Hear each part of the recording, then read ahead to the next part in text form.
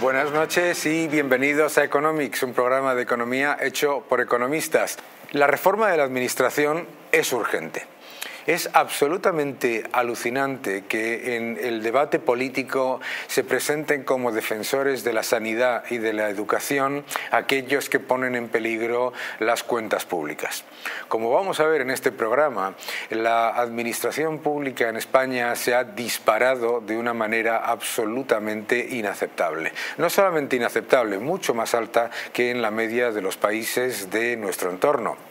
El aumento del gasto político es un elemento muy grave y lo que realmente pone en peligro los servicios públicos haciéndolos insostenibles es disparar ese gasto político que ha aumentado en más de 36 mil millones solamente en el último año y además con una ineficiencia en el gasto, según el Instituto de Estudios Económicos, de más de 60 mil millones de euros al año. Es curioso que los mismos que dicen que que no se puede bajar impuestos porque hay que pagar la sanidad y la educación, nos digan que sin embargo se puede pagar la Agenda 2030, asuntos económicos, transición ecológica, un gabinete y ministerio de presidencia que cuesta más de 300 millones de euros, miles de millones despilfarrados en gasto absolutamente inútil con subvenciones que, según la AIREF, en más de 15 mil millones tienen difícil control y difícil nivel de análisis sobre su eficacia, el nivel de gasto ineficiente es elevadísimo y se tiene que recortar. Se tiene que recortar el gasto porque los mismos que nos dicen que defienden, entre comillas, la sanidad y la educación son los que la destruyen, las destruyen haciéndolas insostenibles. Es además importante recordar que se ha vuelto a disparar la inflación. La inflación, el impuesto de los pobres, eh, vuelve a mostrar su cara más agresiva y además con una inflación subyacente, la que excluye el precio de la energía y de los alimentos, que ya está a máximos de más de 30 años. Eh, la inflación es el impuesto de los pobres. Decía Ronald Reagan que la inflación es el precio de las cosas del gobierno que tú te creías que eran gratis y en cierta manera lo estamos El gobierno se ha lanzado a gastar de manera absolutamente desproporcionada, ha consolidado y aumentado todo el aumento de gasto de los últimos tres años y además nos va a dejar con un enorme déficit y un enorme déficit, déficit estructural que según el Banco de España es más del 4% en el año 2025, eso significa consumir más unidades de moneda y la inflación no es la subida de los precios, la inflación es la pérdida del poder adquisitivo de la moneda. Consumir más unidades de moneda creadas artificialmente nos lleva a perpetuar la inflación gobierno te hace más pobre, subiéndote los impuestos, haciendo las cuentas insostenibles y además disparando la inflación con un gasto completamente injustificado. Bienvenidos a Economics. Hablábamos de la administración y de la administración más cara de nuestro entorno. Tenemos eh, la suerte de contar con la colaboración de José Ramón Rieira, que es uno de los eh, grandes economistas de España, que nos va a explicar eh, qué es lo que está ocurriendo con la administración pública y sobre todo qué es lo que está pasando con el gasto en personal de la administración pública comparado con otros países de nuestro entorno. Buenos días, si el gobierno lo permite. Hoy vamos a hablar de la administración pública más cara de la Unión Europea. Eurostat acaba de publicar en su Quarterly Government Finance Statistics a 30 de septiembre los datos de los gastos de personal de eh, todas las administraciones públicas europeas en relación con sus gastos totales. España se ha colocado en la primera posición y en cabeza. España se gasta a 30 de septiembre 110.000 millones de euros en gastos de personal con un gasto total de 440.000 millones. Esto representa el 25% del total de los gastos. Las grandes administraciones públicas europeas, como la francesa, que es conocida por su enorme dimensión, llega a un ratio del 21,4%. Los Países Bajos se quedan en el 18,8%. Italia pasa al 17,9%. Y Alemania, que es una organización, un país muy similar en organización a España, que tiene 16 landers, 12.108 ayuntamientos y 108 ciudades, se queda en el 16,2% de los gastos de personal con respecto al total de sus gastos. Si en España hiciésemos lo mismo que hace Alemania, la reducción que tendríamos y que podríamos ejecutar, quedándonos en este ratio sería de 51.000 millones de euros. Un pequeño recordatorio. España tiene 22 ministerios, tiene 130 organismos autónomos, la seguridad social, 17 comunidades autónomas, de las, las, cuales tiene a su vez más de 1.500 organismos autónomos. Solo Cataluña tiene 509. Tenemos 49 diputaciones y cabildos. Tenemos 8.100 ayuntamientos. Entre toda la organización administrativa que se divide entre funcionarios laborales y otros, tenemos una magnífica eh, sanidad, tenemos unos magníficos profesores, tenemos grandes eh, profesionales en el mundo de la policía y de la Guardia Civil y sin duda en el ejército y en la justicia. Pero podemos soportar 600.000 enchufados, 600.000 en la categoría de otros. Está claro que si de verdad queremos ser un país al día como lo es Alemania, debemos de reducir nuestros gastos en personal en las administraciones públicas y podemos hacerlo en 51.000 millones de euros. Y esto lo tiene que hacer el gobierno, que es el que nos ha llevado a esta situación. Esto sí se lo ha permitido. Muchas gracias. Muchas gracias, José Ramón. La verdad es que es aterrador. Es aterrador ver cómo se dispara ese gasto político, cómo se aumentan masivamente los desequilibrios. Y siempre digo que los ciudadanos, que son funcionarios, que son funcionarios de carrera, que trabajan en la sanidad, en los servicios públicos, etcétera, son los primeros que deberían estar alarmados ante este aumento sin control de las contrataciones a dedo. Por una sencilla razón porque ponen en peligro su puesto de trabajo y porque ponen en peligro su sueldo en el futuro. Es decir, el exceso actual siempre son recortes en el futuro. Y lo que está haciendo este gobierno, que lo que ha hecho ha sido ya desde el año 2019 ampliar los desequilibrios estructurales de las cuentas públicas para llevar a la seguridad social, por ejemplo, a triplicar el agujero financiero que tiene y además a entrar en todavía mayor déficit estructural es decir, el que se genera se crezca o no se crezca, todo eso en el futuro significa más recortes, más impuestos o mayor problema para crecer y crear empleo o todas las cosas a la vez, así de triste es. Un corte y seguimos. Cuando se habla del salario mínimo interprofesional en España, siempre se eh, acude al subterfugio y al truco del argumentario emocional. ¿Cómo no vas a querer que se le suba el salario mínimo a los más desprotegidos? El problema en España, en particular, es que detrás de la subida del salario mínimo interprofesional viene una enorme subida de los impuestos a todos los ciudadanos, a todos los contribuyentes, porque aumentan las bases mínimas de cotización. Lo ustedes en su nómina, cobran cada vez menos en términos netos, aunque no haya cambiado su salario. Y además, esa subida del salario mínimo tiene también efectos contraproducentes, hasta tal punto que el gobierno encargó tres informes de supuestos independientes, expertos cercanos al gobierno, para decir que la subida del salario mínimo no tenía impacto y sin embargo hasta uno de ellos mostró cómo tenía un impacto en destrucción de empleo. CEPIME misma muestra cómo la subida del salario mínimo ha mostrado y ha generado una pérdida de puestos de trabajo potenciales y reales de más de 200.000 puestos de trabajo desde el año 2019. Eh, vamos a hablar con Santiago Calvo, que es doctor en economía, sobre este tema. Llevamos viendo eh, los últimos años aumentos importantes del salario mínimo en España. El salario mínimo ha aumentado en más de un 50% en los últimos años. Tanto gobiernos del Partido Popular como gobiernos del Partido Socialista con Podemos han subido el salario mínimo.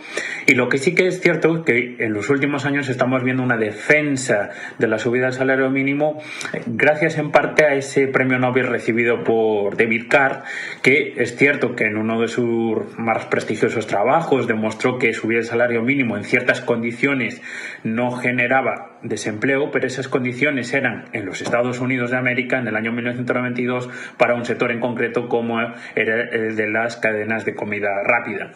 Tratar de utilizar este tipo de, análisis, este, este, estudio en concreto, eh, que está eh, contextualizado para un momento eh, concreto de los estados, en los Estados Unidos de América, tratar de aplicar este, este, estos resultados, estas mismas conclusiones a España es de todo erróneo porque al final estamos viendo que también existen informes, como en España eh, por parte del Banco de España o otro tipo de, fundaciones de mucho prestigio que han analizado los efectos de subir el salario mínimo, no en el 1992 en Estados Unidos, sino en España en el año 2018-2019, y han encontrado que eh, subir el salario mínimo genera desempleo.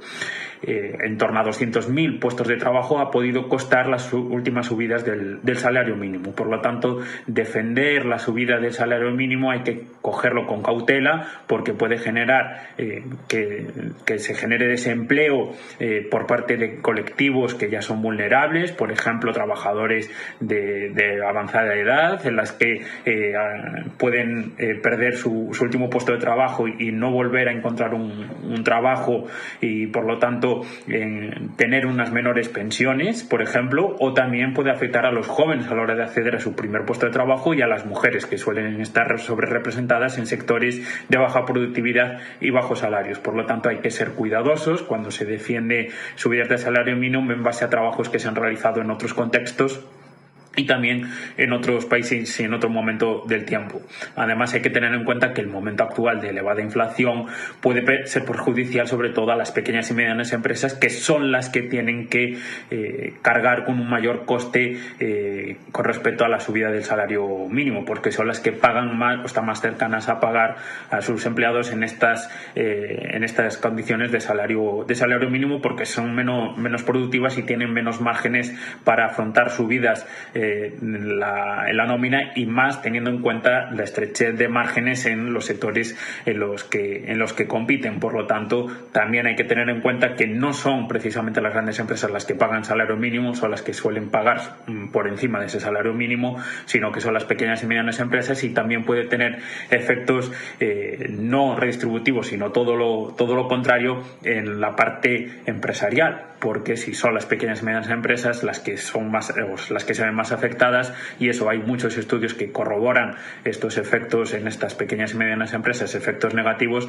pues puede eh, causar un deterioro deterioro de la actividad económica. Por lo tanto hay que ser cuidadosos rigurosos a la hora de analizar los efectos del salario mínimo y ver que también existen trabajos de calidad eh, en los que eh, se encuentran esos efectos negativos en el empleo en la España actual en estas subidas de salario mínimo que estamos viendo históricas en los últimos en los últimos años. Muy importante recordar, primero, que en España ya hay estudios del Banco de España y de CEPIME que muestran la destrucción de 256.000 puestos de trabajo por esas subidas constantes del salario mínimo interprofesional. Segundo, recordar que España eh, tiene la característica por la cual cuando se sube el salario mínimo aumentan los impuestos al trabajo a todo el resto de los trabajadores, a la inmensa mayoría de los trabajadores, al aumentar las bases mínimas de cotización, es decir, tiene una subida de impuestos escondida y recordar que el premio Nobel David Card no demostró que el salario mínimo interprofesional funciona siempre y no tiene ningún impacto en cualquier sitio, sino en un sector particular, los, eh, las hamburgueserías de comida rápida, eh, en dos estados de un país que tiene la mayor flexibilidad laboral y además un nivel de paro bajísimo como es Estados Unidos. Pero es interesante recordar lo que decía el propio David Card. Y cito, no voy por ahí diciendo que se debería aumentar el salario mínimo, pero los defensores señalan mi trabajo para pedir la subida del mismo. Esa es una de las razones por las que ya no trabajo en ese tema. Claro, porque se está utilizando un estudio empírico en dos estados norteamericanos en condiciones muy particulares para decir que funciona en cualquier sitio y en cualquier parte. En un país que tiene la mayor tasa de paro de la Unión Europea y la mayor tasa de paro juvenil de la OCDE, desde luego no deberíamos estar utilizando esta demagogia. Un corte y seguimos. La economía es, eh, un es, una, es una ciencia, obviamente, en la que eh, hay todo tipo de elementos, de indicadores sobre cómo van las cosas. Y uno de ellos es la bolsa. Para hablar un poco sobre la bolsa, especialmente la norteamericana, y el entorno de mercados que estamos viviendo actualmente, Nadie mejor que mi buen amigo Víctor. No sé si te tenemos en el... Eh, eh, efectivamente, aquí está. Víctor, ¿qué tal? Muy bien, te escuchamos. Eh, sí, sí, sí, he tenido problemillas en el, en el paraíso informático y parece que, estaba costando ahí con el, con el sonido. No pasa absolutamente nada. Eh, Víctor, cuéntanos un poco cuál es tu eh, visión sobre la situación actual en el mercado. Hemos visto un S&P 500, el índice de las principales economías, de las principales empresas norteamericanas, que lo está haciendo relativamente peor a principios de este año, después de una década de, eh, un crecimiento y una mejora absolutamente espectacular. Cuéntanos un poco cómo lo es. Pues mira, he estado recopilando esta semana datos bursátiles de Estados Unidos. La final, pues bueno, mercado por excelencia, nos guste o no, los demás somos meros satélites. Y además de llegar a los, a los clichés que nos han venido contando durante muchos años en los libros financieros, pues hay algunas conclusiones bastante interesantes. De hecho, eh, si cogemos datos del conjunto del mercado estadounidense desde 1825, que hay datos, que para eso los americanos son la bomba, el 70% de los años son positivos y entonces se cumple esa especie de sueño húmedo estadístico de tener esperanza matemática positiva, que es lo que buscamos todos con nuestras inversiones. Bueno, pues si nos vamos al índice más seguido, que se comentaba, comentabas ahora mismo, el S&P 500, eh, y analizamos por décadas desde 1929, no tenemos más datos, pues llegamos a, no sé si están mostrando ahora una, una pequeña tabla que habíamos confeccionado. Sí, la estamos viendo ahora mismo. Muy bien. Bueno, para, para, no complicarlo, las rentabilidades están en dólares y no tenemos en cuenta eh, ni los dividendos ni las recompras. Entonces, la rentabilidad desde 1929 es de casi un 6% anualizado, que realmente sería algo más por los dividendos, o sería en torno al 8%, que está muy bien, sobre todo con un plazo tan grande. Y otra conclusión que llegaríamos es que si ampliamos este, este modo de cálculo de 10 en 10 años, la probabilidad de ganar dinero aumenta al 80%, y luego si siguiésemos ampliando y nos fuésemos a los, a los 20, llegaríamos al 100%. Así que esto confirma la máxima en la que se basan todos los libros financieros, o al menos los, los, los buenos, y es que a largo plazo el mercado americano siempre sube. Hasta aquí es todo muy bonito, todos nos lo creemos y por eso la inversión bursátil eh, es tan prolífica en, esta región. Pero claro, es que no todo es color de rosas, que es lo que, con lo que quiero que se queden las personas que nos estén viendo. Y es que si se fijan, la rentabilidad se ha acelerado bastante a partir de los 80, llegando a casi un 9% anualizado desde entonces. Esto evidentemente no es malo, al revés, eh, las probabilidades... el problema que tenemos con todo esto es que las probabilidades de que podamos mantener eh, este ritmo, sobre todo viniendo de años tan, tan buenos, pues son bastante bajas. Y si metemos en la coctelera unos tipos mucho más altos y políticas monetarias menos acomodaticias por parte de los bancos centrales, pues nos va a dar una década que seguro pues va a ser algo más complicada, más complicada, mejor dicho, que la anterior. Sobre todo eh, para la gestión pasiva o indexada. Entonces, los, los periodos de tipos bajos o, tipo, o, periodos con, con, con, estímulos muy altos eh, son muy fértiles para, para, este tipo de inversión, la, gestión indexada. Lo hemos visto con cientos de productos que siguen a, a, un índice, a un sector, a una temática, y luego es que resulta que te pones a mirar las tripas y es que todos tienen los mismos valores, creando una especie de bola de nieve que, que, cada vez más grande, que, que, empaña bastante las valoraciones. Valoraciones, por otro lado, que hemos llegado pues, en algunos puntos bastante absurdas y que, creo que va a ser una oportunidad magnífica para la gestión activa. Por poner un ejemplo así rápido y significativo, eh, el SP500 tiene una valoración vía beneficios de unas 18 veces, que es bastante alta, y es que si quitamos las siete primeras compañías, pues las Amazon, Google, Apple, eh, Microsoft de turno, esta valoración se reduce a 14. Así que eh, la conclusión sería eh, mucho cuidado con, con, esta década, que no va a ser tan sencilla como, como la anterior, y también muchísimo cuidado con la gestión pasiva, porque eh, estos gigantes ya no gozan de los mismos vientos de cola y los índices, queramos o no, pues dependen de ellos. Entonces, pues bueno, esa es la conclusión con la que, con la que hemos llegado esta semana.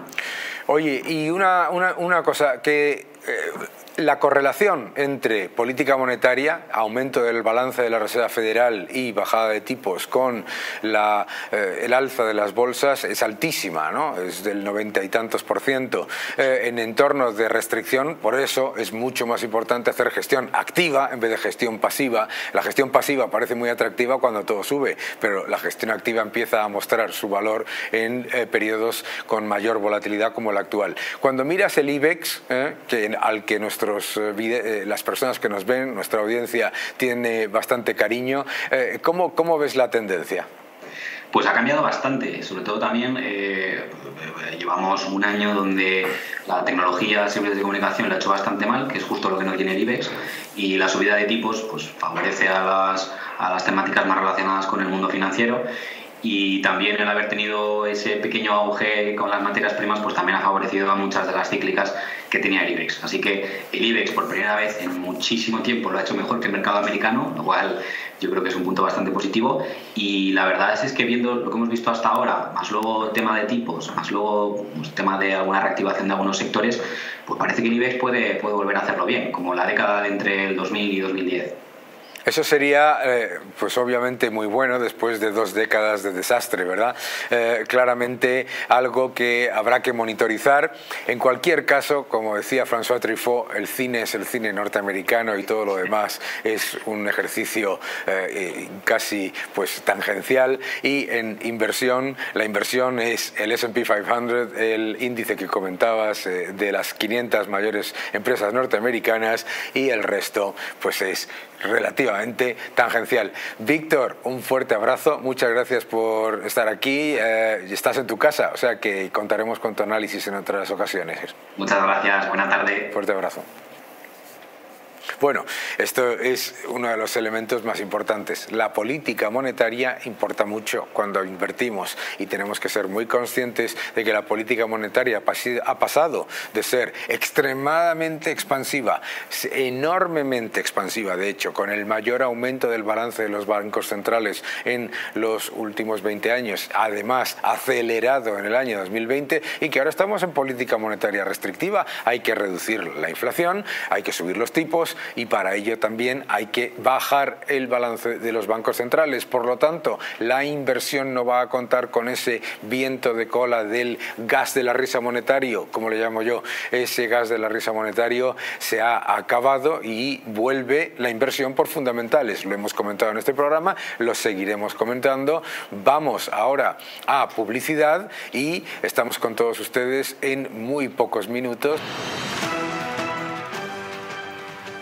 Bienvenidos de nuevo a Economics. Vamos a hablar de algunos de nuestros gráficos favoritos para la semana. Empezamos charlando sobre las materias primas. Hablando de materias primas, ¿qué es lo que ha ocurrido? Interesante. Las materias primas en todo el mundo, en los mercados internacionales, están bajando. Y están bajando, ojo, ya están a niveles por debajo de los precios a los que estaban antes de la invasión de Ucrania. Fijaos, el precio del petróleo, del gas natural, de la soja, de, ojo, el trigo, ¿os acordáis del trigo y el maíz, como decían que se iban a disparar por la guerra de Ucrania, etcétera, etcétera, el aluminio, el cobre, fuerte bajada de las materias primas en los mercados internacionales en medio de una guerra y tensiones geopolíticas crecientes, más la reapertura de China, de la que vamos a hablar en unos minutos, ¿cómo puede ser eso cuando además los inventarios de la mayoría de estas materias primas están todavía a mínimos de los últimos cinco años, o por lo menos desde luego por debajo de los niveles medios de los últimos cinco años. Las subidas de tipos. El efecto monetario en las materias primas es evidente. En cuanto se empezaron a subir los tipos y a reducir la cantidad de dinero por parte de la Reserva Federal en particular, ¿qué es lo que ha ocurrido? Que se han dado la vuelta la inmensa mayoría de las materias primas. ¿Por qué? Cuesta mucho más almacenarlas, cuesta mucho más tomar posiciones largas en materias primas cuesta mucho más refinanciar márgenes y eh, refinanciaciones en el entorno de las materias primas y contratar barcos a medio plazo. Impacto inmediato en medio de una subida la, de la demanda y en medio de una subida de la tensión geopolítica y en el caso del petróleo, reducción de la oferta, porque como sabéis, Rusia y la OPEP han reducido ¿eh? parte de su producción, para que veáis que las subidas de tipos funcionan. Vamos al siguiente gráfico. En el siguiente gráfico muestro otros factores que han hecho que eh, la política monetaria cambie muchas cosas. El dólar, fijaos, el precio del dólar, como el dólar se ha fortalecido en toda, eh, durante todo el año 2022. ¿Por qué? Muy sencillo después de un periodo de exceso monetario, masivo exceso monetario durante la eh, época de los tipos de interés bajo y la enorme liquidez, ¿qué es lo que ha ocurrido? Lo que ha ocurrido inmediatamente es que el dólar, que es en un fuego la casa con más ventanas y más eh, puertas, es decir, la liquidez y la moneda de reserva del mundo, se ha fortalecido contra el resto de las monedas del mundo. Solamente ha hecho falta unas subidas de tipos de la Reserva Federal para que la Reserva Federal mostrase al mundo que el dólar es no solamente la moneda reserva del mundo, sino que no tiene contrapartida, que no tiene rival. Es muy importante eso, por lo tanto, con las subidas de tipos, la inflación todavía elevada y unas políticas monetarias que han llevado a cabo el resto de los bancos centrales mucho más agresivas que aquella de la Reserva Federal, resulta que el dólar continuará relativamente fuerte en ese entorno. Claro, ¿por qué? Porque la política monetaria no es una política hecha para ver quién gana, sino a ver quién pierde primero. Y lo que estamos viendo es que los que pierden primero son los que aumentan masivamente los desequilibrios imprimiendo moneda masivamente con déficits crecientes y con demanda decreciente de su moneda y el dólar vuelve a ganar. Vamos al siguiente gráfico. China. Vamos a hablar mucho de China en esta última media hora. China uno de los grandes factores de eh, mejora para la economía global para el año 2023, según el Fondo Monetario Internacional, es la recuperación de China. Este gráfico, cortesía de JP Morgan, lo pone en duda. Dice que el crecimiento de China en la segunda parte del año es verdad que va a ser más alto de lo que inicialmente se esperaba, por supuesto por la reapertura tras la política de COVID-0, pero muy por debajo de los niveles tanto de consenso como de la expectativas de eh, los organismos más optimistas. Es normal, no es solamente la reapertura de la economía, sino también el problema del el pinchazo de la burbuja inmobiliaria en el gigante asiático, que pesa mucho en el Producto Interior Bruto y eso retrae capacidad de crecimiento. Sobre China vamos a hablar, y mucho mientras me voy a la mesa, con mi buen amigo Claudio Feijó. ¿Cómo estás, Claudio? ¿Qué tal? Encantado, muy bien. Oye, qué gusto, gracias por venir estás en tu casa, estás en tu casa. ¿eh? Claudio es catedrático de, economía, catedrático Jean Monnet, además, ¿no? ¿Eh? Eh, y, especializado también en tecnología, ¿verdad? Exacto, diplomacia tecnológica es el Diplomacia tecnológica, que como cualquier persona como yo que no sabe de qué estamos hablando, ¿qué es diplomacia tecnológica? Pues algo muy sencillo, es cómo la tecnología está cambiando las relaciones de poder entre los países. Esto es un poco eso, ¿no? Espectacular, ¿verdad? Tú además has pasado muchísimos años en China. Siete años. Siete años y tienes un conocimiento muy importante sobre el país porque has escrito un libro sobre China absolutamente eh, clave para cualquiera de vosotros que debéis todos comprar. Eh, y esto es siempre importante, comprar libros. Y cuéntanos un poco sobre esta transformación de la economía china, qué es lo que está eh, digamos, cuáles son los factores de fortaleza y los factores de debilidad que tú identificas. Son, son muchas cosas al, mismo tiempo, ¿no? Y tú has dicho una muy importante que es esa burbuja inmobiliaria, donde el gobierno duda entre si pincharla rápido o, pincharla despacio, que es una decisión bastante complicada, porque saben que una parte muy importante del, del Producto Interior Bruto depende de, esa, de la inversión inmobiliaria. Pero tienen otras cuestiones. Muy importante es el consumo interior. Tienen una cifra de consumo interior más baja que los países, digamos, desarrollados. Y en un hmm. entorno en el cual los motivos por los cuales China ha crecido, que era la fábrica del mundo, porque básicamente sus costes eran bajos, esa esa maquinaria, ¿no? esa, esa, esa forma de llegar hasta ahí ya empieza a pararse y entonces cómo hacer eh, y, desde luego el camino no es seguir siendo barato, porque ya no lo eres, sino el camino es la innovación. Entonces hay que incrementar el consumo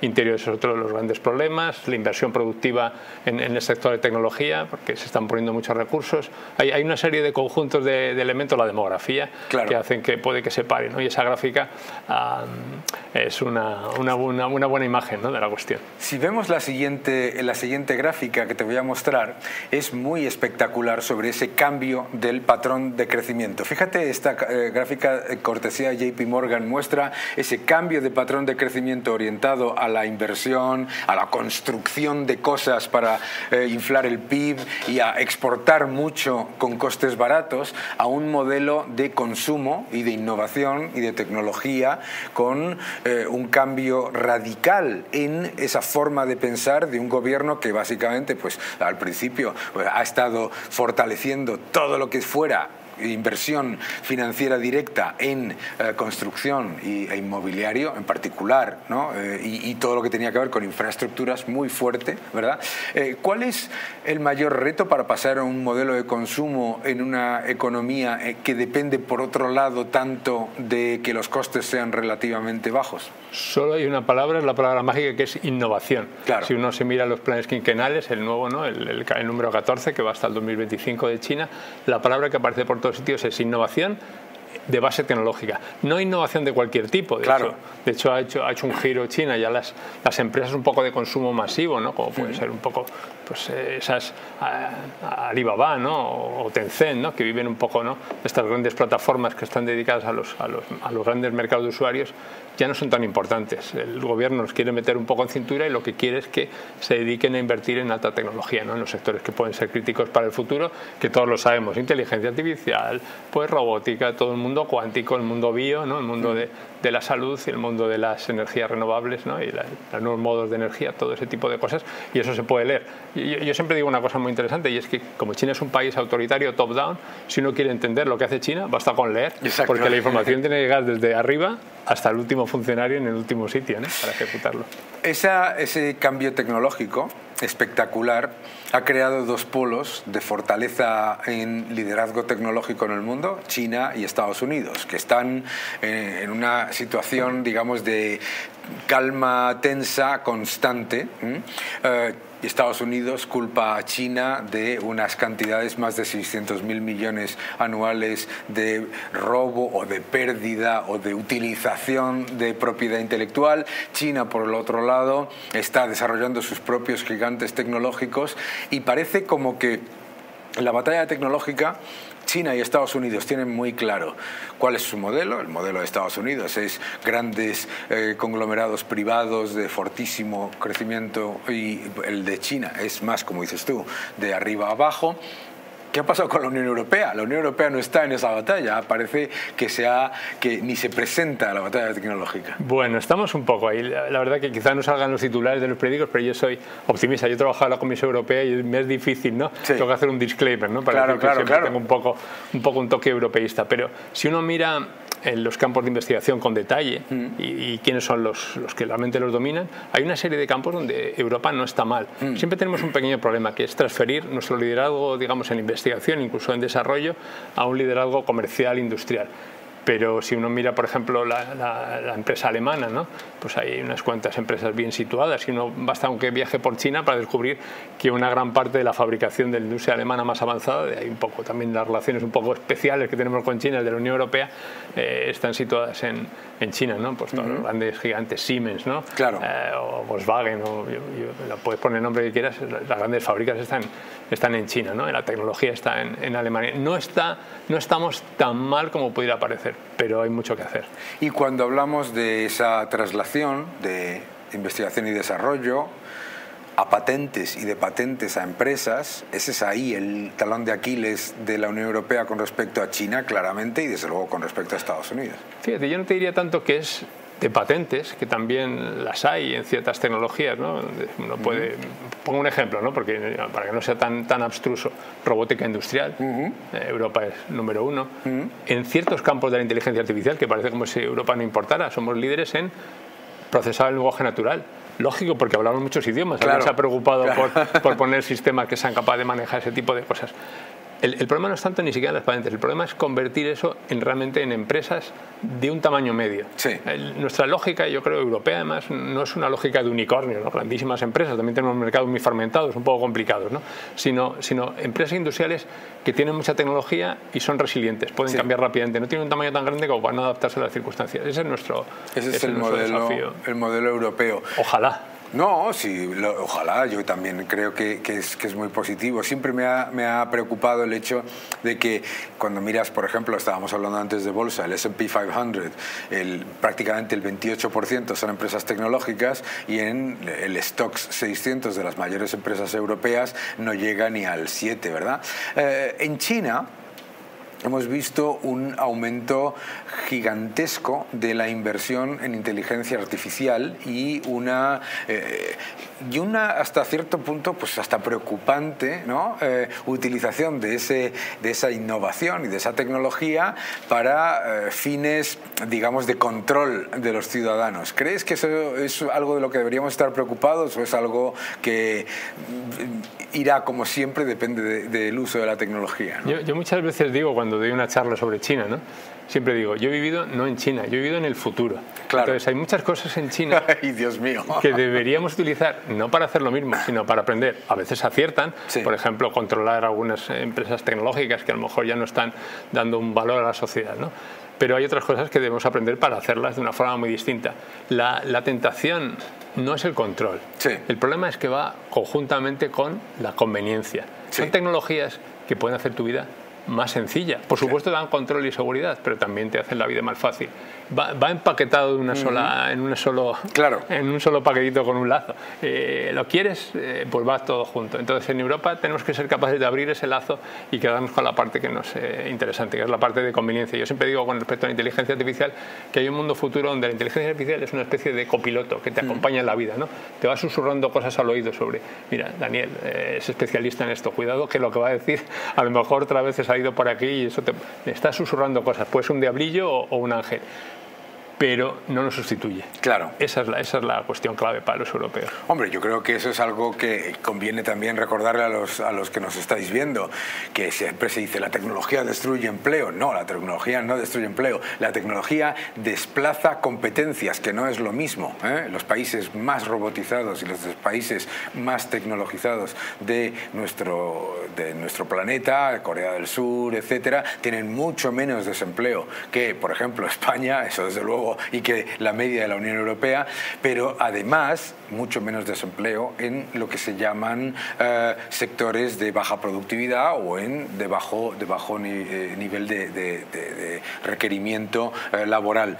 Una de las cosas que siempre es una preocupación en China, los apuntado tú antes, es el factor demográfico. Factor demográfico ha pasado de ser un impulso muy fuerte para el país a empezar a ver eh, un reto demográfico. De, el otro día estaba leyendo en la prensa oficial china y por lo tanto supongo que no, no, no, no es algo en lo que el gobierno estará en desacuerdo, que eh, China se encuentra con un reto muy importante en cuanto al cambio de la pirámide demográfica. ¿En qué puede afectar eso?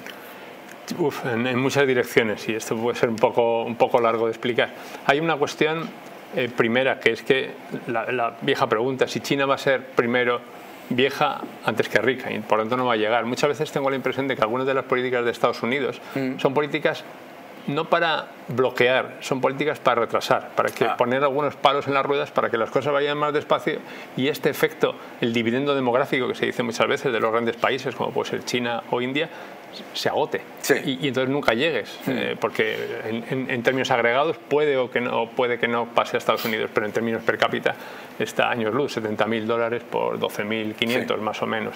O sea que, hay un recorrido. Esos crecimientos que ponías antes del 5% no, no, van a hacer no son suficientes. Hay que ir a crecimientos mucho más rápidos. Eso por un lado. Luego pasa otra cosa y es que hay un desbalance muy grande en, la cualificación de la, de la, mano de obra de, de China. Basta con darse un paseo por Shanghai o Pekín para darse cuenta de que hay muchos inmigrantes, lo que hacen, las labores que hacen aquí los inmigrantes de fuera del país, ahí hacen los inmigrantes que vienen de las zonas típicamente del sur y del, y del oeste del país a las, a las, a las zonas ricas. Y, esa mano de obra, si no se transforma de alguna manera, no, no, no contribuye a la economía de la manera que China quiere, quiere, pretende. Y luego está en que las políticas que han seguido de natalidad tienen unos efectos muy lentos de cambiar. ¿no? Y ahí está la gran cuestión en China de si van a seguir una política como Japón, van a poner incentivos para que las familias tengan ayuda, les cueste menos el colegio, o realmente van a intentar invertir y van a intentar dar mecanismos para que la gente tenga, tenga más y, y desee tener más hijos. Pero entonces aparece el mercado inmobiliario. Claro y, volvemos otra vez volvemos a lo mismo. al comienzo de la cuestión. Claro, es que el gran problema de las economías planificadas es que cuando te pones a planificar demasiado, pues no estás, no consigues eh, nada. Pero ese, ese ejemplo que tú acabas de dar, el de Japón, es uno que se repite mucho en China. Cuando, cuando se habla de miedo a qué puede pasar en el futuro si no se hacen las cosas bien, en China se suele comentar con cierta regularidad que eh, Japón era un líder tecnológico y un líder económico en los años 90, que un pinchazo de la burbuja inmobiliaria, fijaos los paralelismos, terminó con, ese, con esa hegemonía y que desde entonces la, demografía y el enorme endeudamiento han dejado al país pues, en un estancamiento secular que ya lo conocemos, los 170% de deuda sobre PIB, no crece, etcétera, ¿no? Hay, una cuestión sobre eso que dices que es muy interesante y la, la pregunta de fondo es... Eh, yo creo que en China hay una especie de fe en la tecnología hmm. y eso también lo vemos ¿no? en todas esas inversiones que se están haciendo en sectores tecnológicos. Yo creo que de alguna manera esperan que este problema demográfico se solvente por medio de la tecnología. Sí. O sea, que sí que a lo mejor están apostando por robotizar el, el, trabajo, las empresas, poner inteligencia artificial, un poco para compensar, ¿no? como si fuera un nuevo factor. ¿no? Tenemos el capital, tenemos el factor humano y ahora le añadimos una especie de agentes ¿no? de inteligencia artificial robotizados que contribuyen a la economía y ya no es tan importante la población. Yo creo que hay una fe, ¿es cierta o no? ¿O va a cumplirse? Es una buena pregunta. La verdad es que si si pones esa, esa ecuación, demografía, eh, los costes de la demografía, por supuesto, más gasto en pensiones que en China no hay, más gasto en, seguridad social, etcétera, que en China es muy limitada, prácticamente inexistente, etcétera, etcétera, eh, con los diferentes elementos eh, lo, hace, lo hace complicado. Pero claro, la apuesta por la tecnología es la única que puede, digamos, eh, servir de pegamento en, esos, en, esos, eh, en esas piezas de puzzle tan complicadas. Cuando hablamos de apuesta eh, por la tecnología, uno de los grandes problemas que tiene China es el de la implementación. Es decir, es gran líder en innovación, gran líder en patentes, etcétera, pero al final tiene su mercado que es grande, China, pero el resto, pero por ejemplo las empresas norteamericanas tienen el mundo, ¿no? ¿Cómo ves el problema de la implementación? Esta es otra de las palabras clave que, que está en eh, cualquier cambio de economía sobre China, que es el modelo de la doble circulación. Esta es la, palabra de moda en China y entonces es un modelo que intenta tener como dos círculos. El círculo del, del, consumo interior, que justo acabamos de ver, círculo en el cual hay innovación interna y tú prefieres comprar dentro porque es bueno, no porque es barato. Y, pero hay que mantenerlo conectado con el mundo exterior. China, incluso siendo un mercado tan grande, no se puede permitir el lujo de, desconectarse. Entonces la cuestión es cómo conectar ese circuito interior, que tiene que adquirir más importancia, con el circuito exterior y hacer exportaciones de alto valor añadido, no exportaciones de cualquier manera. Y al mismo tiempo China todavía tiene un gran problema y es que, aunque es líder en algunas áreas, todavía le queda mucha tecnología, tiene que modernizar mucha industria tradicional, ¿no? que es una industria también con mucho, mucha presencia del sector público y que requiere mucha modernización necesita en muchas cadenas de valor atraer tecnología y quedarse con las partes de esas cadenas de valor que tienen más valor añadido. Ese es el, ese es el secreto del, cocido, ¿no? del, del modelo de doble circulación, mantener y decirle al mundo, sí, yo quiero ser más independiente, pero quiero seguir colaborando contigo y que el resto del mundo diga, me parece bien. Me parece bien. Complicado con esta tensión geopolítica que hay ahora, ¿no? Hay otro factor que hace más difícil esa doble circulación, que es el hecho de que China es el único país de las grandes economías del mundo que tiene controles de capitales y que tiene un tipo de cambio que está fijado por el Banco Central. Por lo tanto, pues digamos que eso le impide que su, que su sistema financiero y que su eh, moneda eh, tenga utilización generalizada. ¿Tú crees que tienen que hacer un cambio ahí? Eh, o hay, hay, una cuestión muy, muy importante, ¿no? Y es, China es completamente consciente de todos los problemas que tienen. No es como, eso es, cierto. no, es que, oye, no saben, no, saben muchísimo y son completamente... Y lo publica, que, eso para la gente. Y, tienen analistas entre los mejores y, son conscientes. Otra cosa es que las soluciones que adoptan son un poco distintas a las nuestras. Hay, para mí hay dos cosas que están haciendo a, ese respecto. Uno, y es que Hong Kong sigue existiendo. Aunque, aunque Hong Kong eh, digamos, en términos políticos, se acabó tal como lo conocíamos, pero sigue habiendo un dólar de Hong Kong que sirve un poco de máquina para, para hacer algunos enjuagues que probablemente son necesarios. Y luego hay otro motivo que, es, eh, que yo creo que es una de las grandes innovaciones y China nos va a obligar a correr a todos en esa dirección, que es el, yuan digital. Eh, el yuan digital no es que vaya a flotar, porque no va a flotar, pero uno, va a permitir que haya intercambios sin pasar por el, por el camino del dólar y eso ya te da una flexibilidad.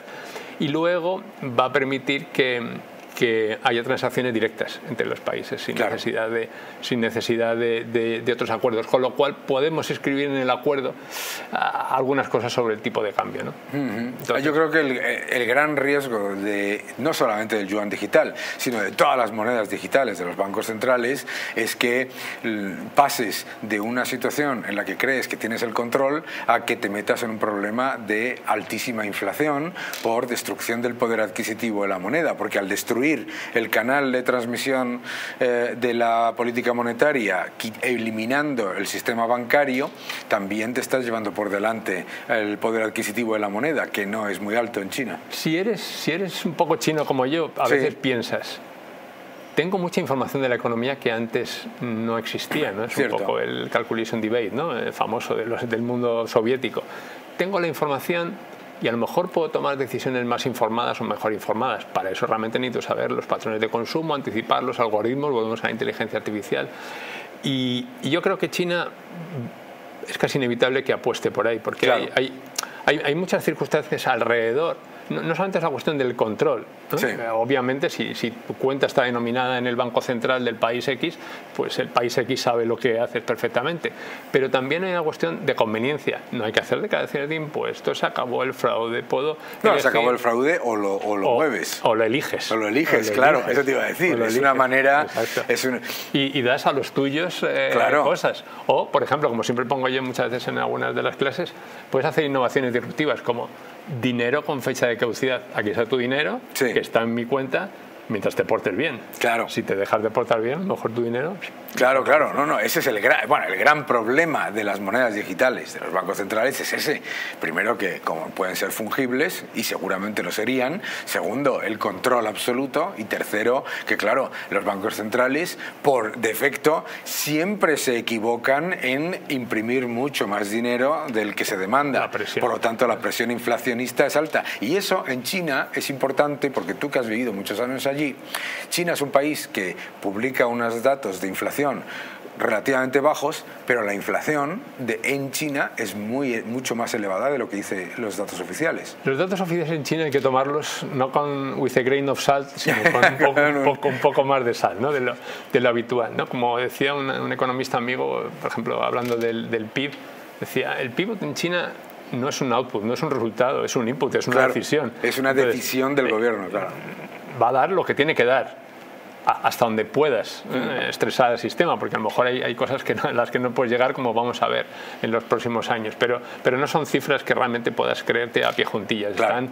están maquilladas, aunque más o menos, eh, quiero decir, marcan la tendencia, no es que sean completamente falsas, pero, pero sí hay que tomarse No, hombre, claro, no son completamente falsas, pero eh, primero, no son completamente falsas, son como tú bien dices, o sea, no es el resultado de, una, de lo que está ocurriendo en la economía productiva, sino que es el resultado de la decisión del gobierno de lo que tiene que ocurrir en la economía productiva, porque cada una de las provincias tiene que cumplir sus objetivos de Producto Interior Bruto. ¿verdad? Y otra cosa que sucede que es muy interesante es que si una cifra media es siempre falsa porque no representa la realidad, ¿no? pero esto no se parece a lo que me pasa a mí en la vida diaria. En el caso de China es, es todavía más falsa porque las distancias y las desigualdades que hay son tremendas. Claro. Entonces, las cifras de empleo las cifras de inflación, las cifras demográficas. Si además es un sistema, es el, típico problema del principal agente, si tú, tú le dices al de abajo que tiene que cumplir con unas cosas y, su vida depende de ello, su vida al menos política depende de ello,